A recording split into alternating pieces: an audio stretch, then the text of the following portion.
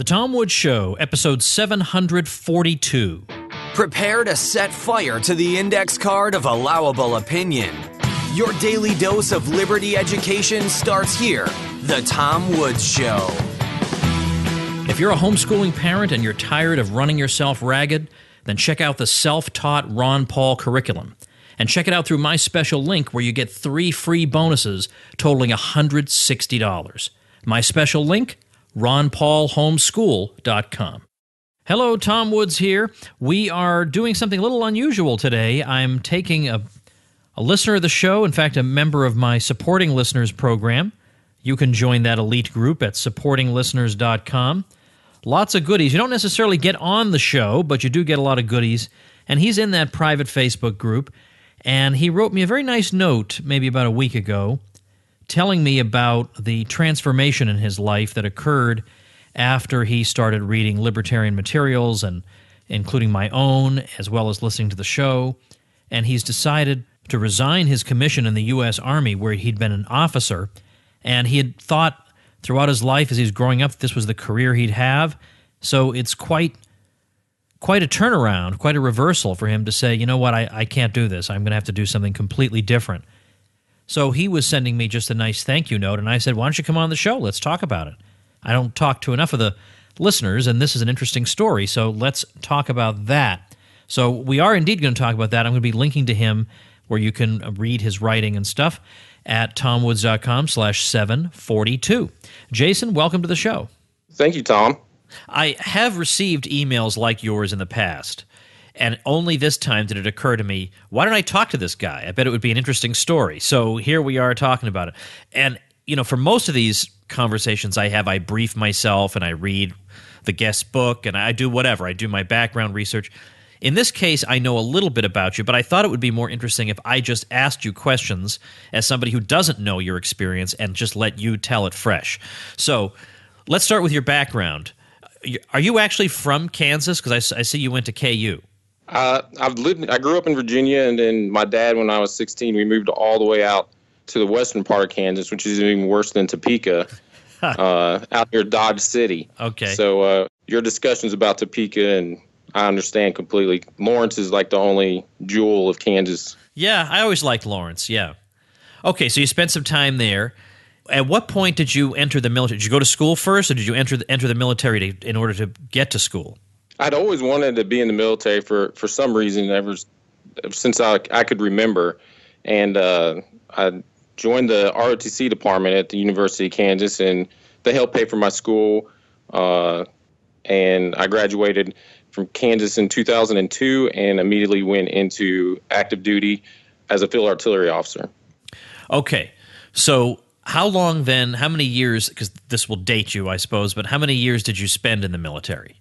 And I mean, you're still there, so you, you may want to make your statement. Oh, that's right.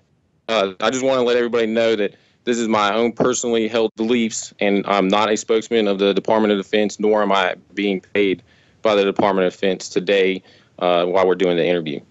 All right, fair enough. I, I, think everybody assumed that, but I know you have to say it, so I'm, I'm glad you did. What was your question again, Tom? How many years have you been in the military? I have 12 years. I had a little break in service uh, for about three years. I did five years of active duty. I did uh, 18 months in Korea, and I did 13 months in Afghanistan in 2005 and 2006 while I was a member of the active duty. And then I went into the National Guard in Virginia for two, two and a half years, left the Army, uh, came back in in 2012, and now I'm in the process of resigning my commission. Okay, so let, us go through those. What is it like being in Korea in the U.S. military? There isn't a whole lot going on, presumably. In Korea, no. It's mainly just go there and train limited training time, uh, just because you know the Koreans do have a set limit on where the Americans can train, and they don't want us interfering with their their population, and so you know we mainly sp- spent time on the base. Uh, and we could leave uh, during the day if we wanted to, if we had some free time. But we were expected to be back in the evening, so we had a curfew. Okay, so do you, when you look back on your experiences in Korea, these were not this this was not a time that formed you ideologically or anything. No, Uh, I, I enjoyed myself over there. I had a really good time. Uh, I really enjoyed uh, meeting the Korean people and thought that they were uh, they're awesome. But Afghanistan, I suspect, might have been somewhat different. What were your experiences like there? Uh, I was a field artillery officer, and uh, I was in attached to a special forces unit. So you know, I got to see some action, I guess, if you want to put it that way. And then eight months into my tour, I got promoted to captain.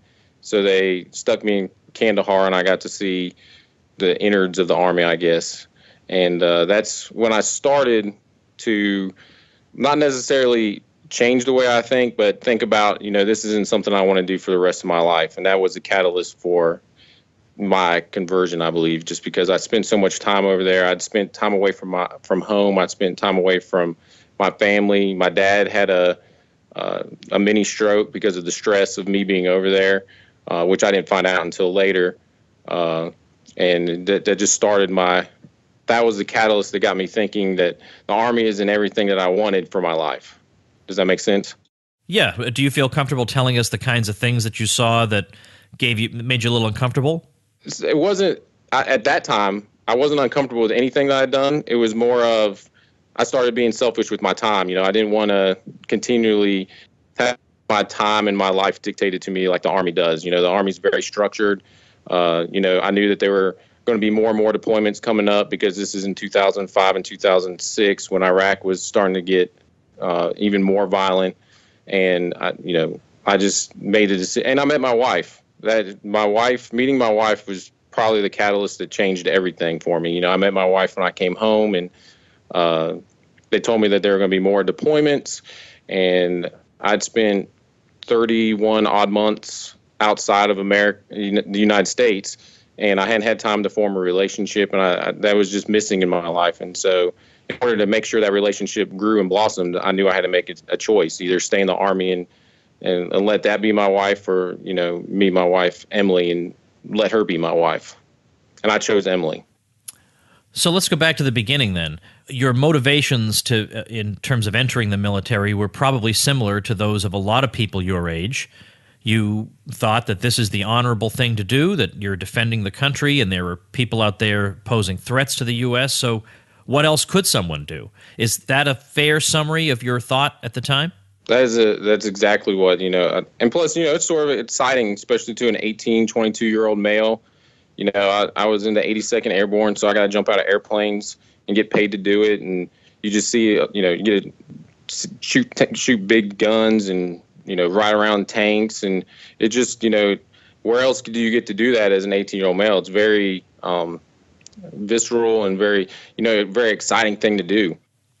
Now, my impression so far is that if I were to ask you, did you encounter a lot of people in the military who had some doubts about any of it, the answer would be no. I would. That's accurate, and even to this day, it's still no. Now, now most of the people that I know, because I'm, you know, I am a I'm a major in the United States Army and uh, on part time. Uh, I still see most of the people, you know, oh, I'm just going to ride it out to the retirement, or now it's more based off of the benefits they get, not off of the exciting things they do. Right, right. All right. So obviously, at some point, something happens to you. You start thinking differently. When is that, and what is that catalyst? Well, Tom, I, I grew up in a Catholic household, and uh, when I went to college, I, I strayed away from it. Uh, so I had a, a, grounding in some Christian understanding, uh, limited Christian understanding. But my wife, we moved to Virginia, and she wanted to join a church, and I went to a church with her, and I said, sweetie, I, I can't go to this church with you, but I wanted to spend time with my wife. So I said, why don't we try to find a church that we can both go to? You know, I was just trying to, to please her. And uh, we found a, a non denominational church in, in, in, the Virginia Beach area. And uh, it just resonated with me. And I became a Christian. But I was still one of the, you know, in my belief, a typical American Christian these days where they, they believe in Jesus, but they still believe in the military and you know foreign interventions and they're pro-life except if it's anybody else but Americans. You know, then you know we can harm 18 year olds or 16 year olds that live in the Middle East or in Africa or Ukraine or Russia or where, wherever. And so that was becoming a Christian was the catalyst. And then I sort of uh, I became a police officer, and I started, you know, seeing that side of America because you know being a police officer is the next natural step for someone in the army. Supposedly is, oh, if you get out of the army, go become a police officer. You know, you get to have the same action you had in the military, but at home. And uh, that wasn't something that I started seeing the militarization and the just the interaction that a lot of police officers have with with people. And I was a revenue generator, and uh, that started getting me thinking. And I, I met another friend of mine who was who liked Ron Paul. So I started talking to him, and then I started researching more and more about Ron Paul, and I found Lew Rockwell, and then I found you, and I, I read your books, and that was the catalyst that got me thinking about, you know, reevaluating my whole viewpoint as a Christian and as an American, and you know, what is the right role for us in the in, in the world and the violence that we're committing.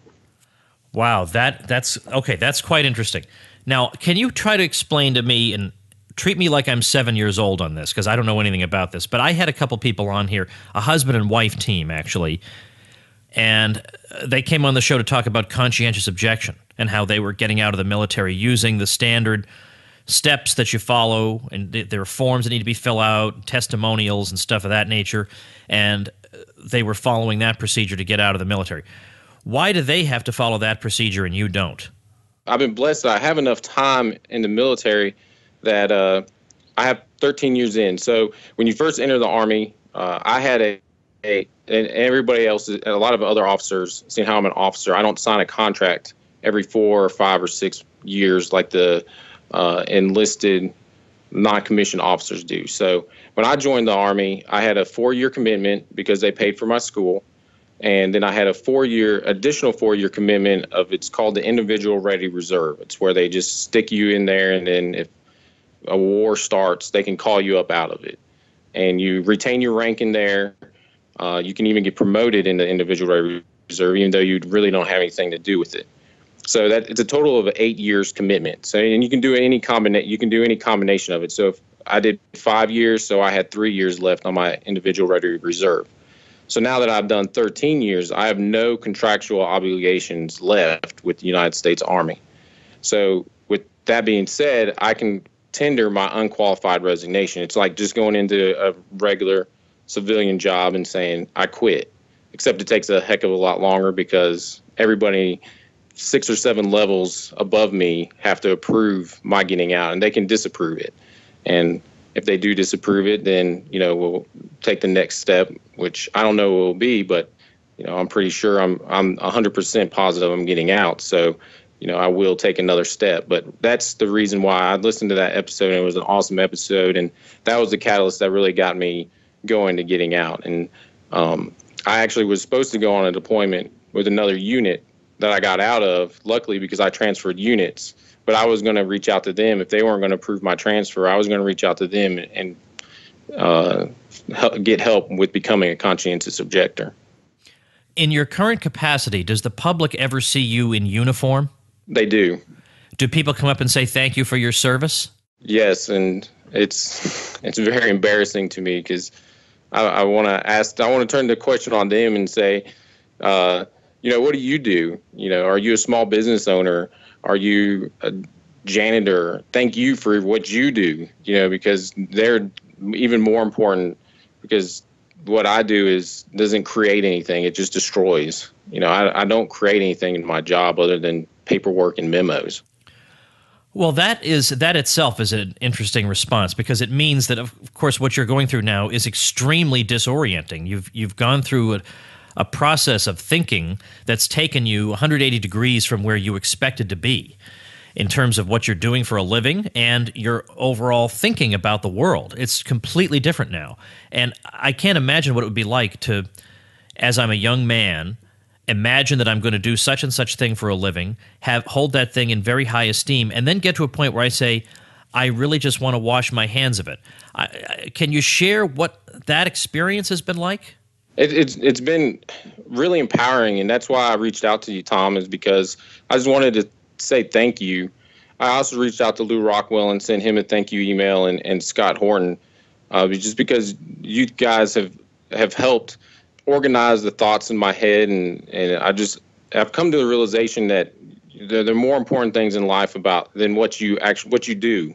And so the army was had was was my life at one time, but now it's just something that I, I do, and I don't want to do it anymore. You know, my family is the most important thing to me now, and that's you know the most important thing. And so understanding that you know it, it's just a job, it's not who I am, it's just what I've done, and so and I can change what I do, and so I can't change my family. And know what I want to, but that's just been the grounding thought that's run through my head is that it's just something that I do and I can quit it and I want to quit it, especially if I don't if it doesn't equate with my morals and my viewpoint on the world any longer. You said that going into domestic law enforcement is often a logical next step for people who are no longer in the military, but you don't want to do that. I that's the impression I get. So, what is it that you'd like to do? What's what's uh, what does the future hold for you? Well, actually, I in 2011 I quit being a police officer uh, just because I started seeing that I was hurting people for voluntary transactions. You know, like we talk about, like you talk to many people about, um, just the voluntary transactions. Like I would stop people for and smell marijuana, and they'd want me to arrest them, and I was like, they weren't, they're not hurting anybody. It's their decision. Uh, and uh, the the biggest catalyst was is I stopped a family of four alongside the road one day for speeding, and the speeding ticket was going to be two hundred bucks. And I, I saw that family. I saw the husband and the wife, and they were had their two kids in the back, and they weren't well to do, but they weren't poor. They weren't well off. They're a typical middle class family, and I, I just realized if I wrote this person a two hundred dollar ticket, it's it's going to be revenue for the state, but what's it going to do to those kids? Are they going to go without shoes or new clothes or food? That's two hundred dollars is a lot of money to a lot of people, and at that point, I decided I was going to go back to school, and I started working with my wife and my father-in-law, who are small business owners, and I became the business manager for them. And now I'm currently training to become a paramedic because I feel I've always felt called to help people, and I thought the military was a way to do it uh, and obviously it is not. Uh, I thought law enforcement was a way to do it, and I didn't feel like I was helping anybody there. Uh, and I found medicine as to be a way to actually help people and actually see the results of your help. You know, you help somebody, especially as a paramedic, in their their worst times where they need the most help, and you show up and intervene and, and help them, you know, see another day. You know, that thinking about health and thinking of it in opposition to the military. That's exactly Ron Paul's way of thinking. Of course, we all know his about his career in medicine, and he often contrasts the two things. So it's interesting that you make that connection. You have a blog that you're starting. Is it premature for me to mention that? No, uh, I'm actually going to try to document the the process of an unqualified resignation or my resignation in the army for others too. So I know you've had the conscientious objectors, and they're an awesome resource. I've been to their website. Um, like I said, I was going to reach out to them and use them as a resource. Uh, and my thought for my blog is the, the, blog about other viewpoints that I see, you know, about the whole thank you, thanking a veteran uh, concept, you know, that's in the future, and a little bit more about my conversion, and but and also about how to resign from the army. Uh, I, I don't see a lot of information out there, and it's not a top secret thing. It's just I don't know if a lot of people have ever put it out there. So maybe it can help a uh, another libertarian or just someone else who wants to, to leave the military. Do you want to tell people the name of the blog, and then when you have more material, I'll, I'll give it another shout out later. But do you want to tell them? It's called the Appalachian Libertarian. Okay. .com. Dot com. All right. So I will. I'll link to your blog also. Um, what did I leave out that you want to tell as part of your story? I would just say uh, my biggest thought is is I just wanted people to question how they they see the world. You know, I I saw the world in a very neocon conservative way for a long time, and by listening to someone else, I started investigating. But because I questioned what I was doing and what I did and what I became is a way better person. And that's why I once again, Dr. Woods, I've reached out to you just because I was so thankful because, you know, I, without your show and without Ron Paul and, and Lew Rockwell, I, you know, I would have be, probably become a bitter bitter man, and now I feel free and like I'm going to do something to make a change and, and and help people help people rather than hurt people, and just just question your viewpoints and try to find the truth. What's been the response among your colleagues in the military? I actually had a surprising response. My my battalion commander, when I resigned from when I told him I was resigning, you know, he sort of said he had an epiphany of you know what he wanted to do with his life. And uh, I have another friend there that he sees that he doesn't he wants to get out, but he's caught he's captured by the thought of a retirement. And you know, so my thought was is I'm not going to sacrifice any more of my time, which I don't I can't buy more of. I'm not going to sacrifice time with my family. I'm not going to leave. I don't and the the fear of another deployment. You know, I I got back in because I thought we were going to end the wars, but the wars have just kept going, and there I have a feeling that not only are the wars going to keep going, but they're going to get worse. And I'm I can't sacrifice any a year of my life away from my two young daughters and my young son and my wife for something that I don't believe in. I don't believe we should be interfering with other people's lives in other countries and hurting them. Uh, you know, I can't abide by the fact that, you know, we may kill one terrorist in a drone strike, but 15 civilians are hurt or killed. You know, that, that, that's not a pro-life message, you know, uh, and I just, I can't abide by that anymore. And some, some people understand it and but for the majority of them, they're like, "Oh, well, you're giving up your retirement and health care and all this other stuff."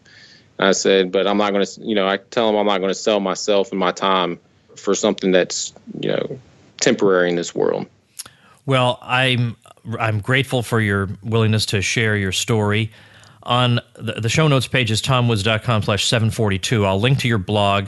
I'm also going to link to the episode where I we talked to the conscientious objectors, and I'll link to the episode with Jim Hale, who was a guy who had a transformation very similar to yours, and he had been involved in the Committee for the Liberation of Iraq with uh, Bill Kristol and some of those folks. And he just just this year just wiped his hands of it, turned around, and, and promotes the exact opposite of what he used to. So good resources to be found at tomwoods.com slash 742. Jason, thanks so much and best of luck. Thank you, Tom. All right, that's going to do it. Remember, October 1st, 2016, you can see me in Cambridge, Massachusetts. It's going to be a great event, and I'm, I'm taking some supporting listeners to the Boston escape rooms, which which will be fun. I'm going to be doing one September 30th and October 1st, so I'm going to be escaping quite a bit over that weekend. So that's going to be fun. Then December 1st, speaking in Orlando, not far from where I live now.